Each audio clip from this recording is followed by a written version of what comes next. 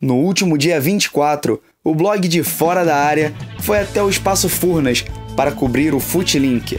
O evento, em parceria com o IAJ, contou com as presenças ilustres de Jair Ventura, técnico do Botafogo, Zé Ricardo do Flamengo, Paulo César Guzmão, agora no Madureira, e o treinador, vencedor do ouro olímpico, Rogério Micali. A mesa redonda, mediada pela repórter do Esporte Interativo, Monique Danello, começou com cada participante apresentando um tema de forma dinâmica. Zé abriu a discussão abordando a importância da bola parada no futebol, mostrando estatísticas e jogadas produzidas pelo próprio Flamengo, além de lances que originaram gols dos adversários. PC entrou com a questão da formação e equivalência do treinador brasileiro no mundo a partir de casos vividos pelo técnico, ele mostrou alguns problemas enfrentados por treinadores do país ao tentar investir em uma carreira europeia. Jair tomou a palavra para discutir a montagem do plano de jogo com informações dos adversários. O comandante do Botafogo ressaltou a importância de estudar os planos de cada rival para poder ter maiores chances durante as partidas. Para finalizar as apresentações, Rogério Micali abordou o case ouro olímpico, contando como foi a trajetória da seleção brasileira até o título contra a Alemanha. Ah, e fiquem tranquilos que ele vai ganhar uma medalha. Assim começou o debate de verdade. A Monique levantava as questões e os integrantes da mesa dividiam a palavra, expressando suas opiniões para cada tema proposto. Ao final, todos se disponibilizaram para falar com a imprensa. E nós, é claro, não deixamos a oportunidade passar. Pegamos uma palavrinha de cada pessoa responsável pela disseminação do conhecimento. Então, deixo a palavra para quem entende. É, só, só, só houve um. Foi, já fui efetivado direto, né? O presidente, como me anunciou, foi diferente de Zé, ele já anunciou. O Jair é o treinador do Botafogo. Dessa vez não foi de maneira interina, já foi efetivado. Sabia do grande desafio, sabia das dificuldades, um time na zona de abaixamento, mas era a minha chance, né? Esperei 11 anos por esse momento e não podia deixar passar essa oportunidade. Então abracei com os identes, o grupo me abraçou e hoje estamos aí, caminhando pouco a pouco aí para tentar acabar o ano da melhor maneira possível, levando o Botafogo mais alto possível na tabela. É, Zé, é, como é a transição de, do futebol de base para o futebol profissional num clube como o Flamengo?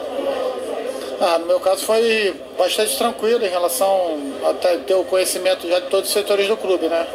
É, acho que cada clube vai ter a sua realidade, mas no meu caso acredito que esse fato ajudou bastante para que a gente pudesse criar um ambiente é, inicial de trabalho e com isso desenvolver o trabalho que foi feito. E você como parceiro do IAJ, é, o que você diria que o IAJ representou para você na sua carreira? Ah, eu acho que a questão de a gente poder estar tá sempre trocando informação com o público jovem, que é basicamente é o, é o público do IAJ e também com outros profissionais, acabam fazendo a gente sempre se desenvolver, né? PC, é, você falou né, da, da equivalência dos técnicos lá fora que a gente não consegue, que vocês não conseguem às vezes trabalhar lá fora. Você contou que passou por dificuldade no marítimo. Você pode contar um pouquinho mais aqui pra gente do, do blog de fora da área, do EJ aqui, sobre esse, esse evento? É uma forma de organização é, para eles qualificarem o, o, o futebol deles é uma, Portugal se organizou é, de uma forma muito interessante, né, em que a gente cita até aqui para dentro do, do próprio Brasil, né? A gente vê alguns exemplos que tem, dão certo e Portugal deu certo. Então, assim, é, eu, eu, não tenho nada a criticar, eu só tenho que elogiar e, e saber que eu tenho que me qualificar ainda mais para que eu possa re, retornar à Europa. Como é que foi o vencer o ouro olímpico, conquistar o ouro olímpico depois de toda a dificuldade que a seleção sofreu?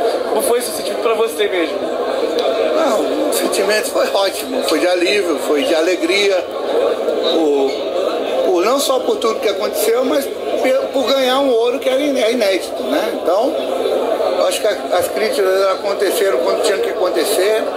A, a gente sabe da, do momento que o futebol vivia.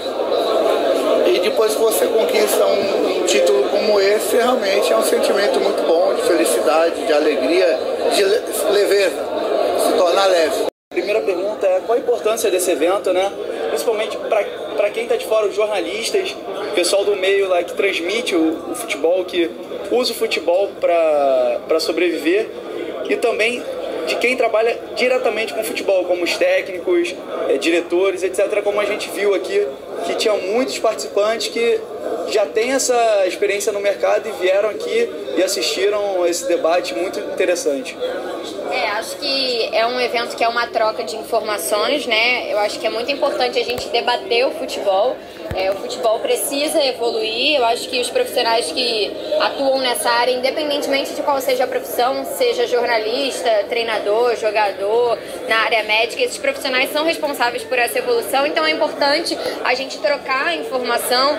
A gente ainda não tem, por exemplo, uma biografia muito grande sobre esporte para a gente pegar e estudar. Então vem muito da experiência das pessoas e o Footlink faz justamente isso, escolher um tema, um norte para a gente debater, para a gente trocar experiência. Bom, galera, esse foi o Footlink e para vocês que querem outras informações, continuem acompanhando o blog de Fora da Área. E não se esqueçam que no IAJ, conhecimento gera oportunidade.